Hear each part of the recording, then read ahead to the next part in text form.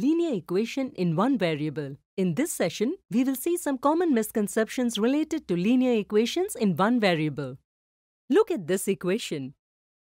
We have learned that this is called a linear equation in one variable. Why?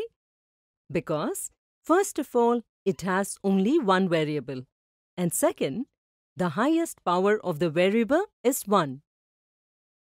Now look at both these equations.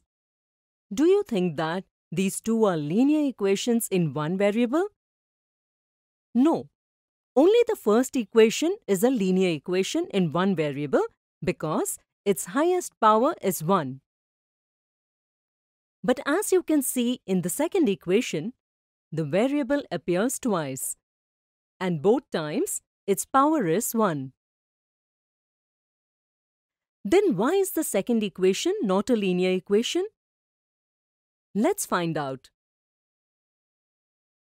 An important aspect of this equation is that x in the equation is multiplied by 5x.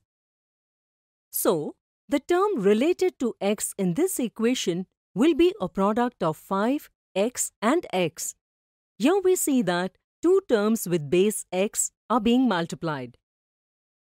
Therefore, their individual powers will be added and the last term will be 5x square. As you can see, the power of x is 2. As per the definition of linear equation, the second equation cannot be considered a linear equation. Therefore, the second equation is not a linear equation in one variable. Let us take another example. Observe these equations carefully. Can you find which of these equations are linear equations in one variable? The first and third are definitely linear equations in one variable.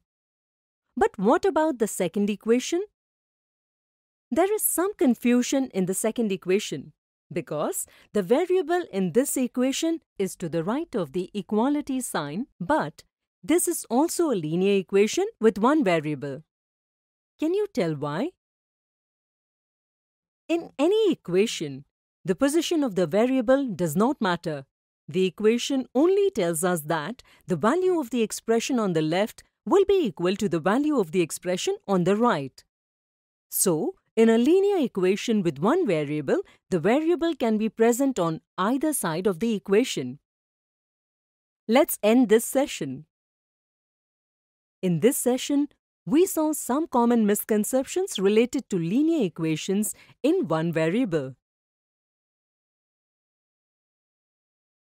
In the next video, we will learn how to solve a linear equation in one variable.